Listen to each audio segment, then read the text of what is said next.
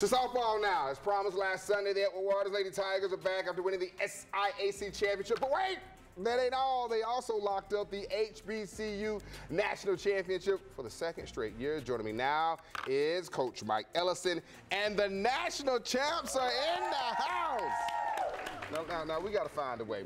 This is live TV. We got to slide this trophy because we can't be covering up beautiful Jodeci's face. So, Coach, uh, it's hard to win the SIAC Tournament Championship regular season and tourney. You also win the national title. Tell me about your journey. How does it feel to be a champ, Coach? Oh, there's nothing better than being a champion, man. God blessed us in a great way. We went up there with the mantra that each day was the first day of the season. Each day we were going to play. We had, uh, before we got off the bus, I told them, hey, this is game one, first game of the season. Let's go win this. Let's go be undefeated today, and then we'll worry about tomorrow when it comes. Jodeci, tell me what it's like to be a national champ. How are you and the ladies feeling tonight? We're feeling amazing, aren't we? I like that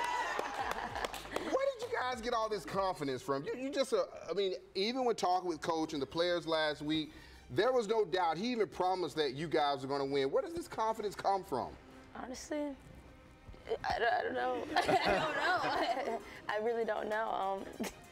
Um, Coach, step in. Okay, so so basically it, it comes from the girls being able to perform and, and, do the tasks that we've asked them to do. They just bought into the program. They bought into the process. We one of the things we talk about all the time: just trust the process. Just trust we're putting in the work. We're doing the things that we need to do in order to, to win championships. And that's our goal here at Edward Waters is to continue to win championships. Now, if you agree with Coach, let me hear you clap your hands.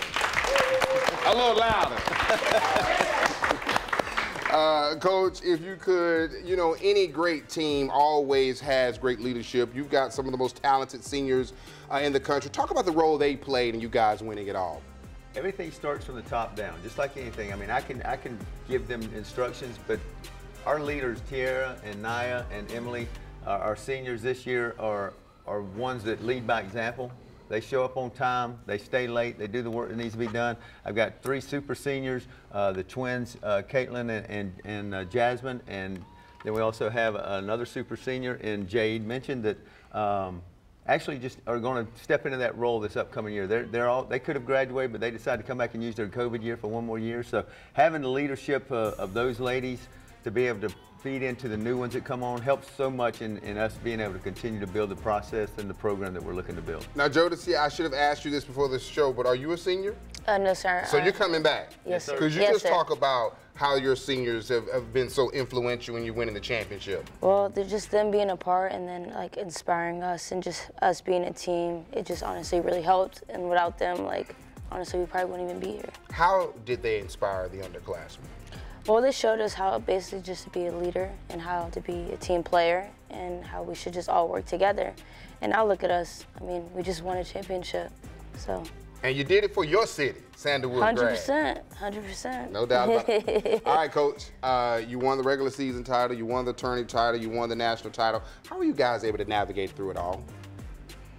We just trust in the process. I keep using that word, the process, but I mean, it, that's the bottom line. We trust in the fact that each and every day we get up and we want to do everything we do to represent Waters in a positive way, represent our Lord and Savior Jesus Christ in a positive way, and be able to do the things that makes us into a program that, that people want to be a part of. And as we continue to grow, just like with any program, winning breeds recruiting. As we continue to win, recruiting will come, and as we continue to recruit, then we're going to continue to, to be competitive in everything that we do. All right, let's run down some stats. 43 wins, a new school record, and you're the only HBCU to have 40 plus wins in a season regardless of division and end the season on a 16 game winning streak.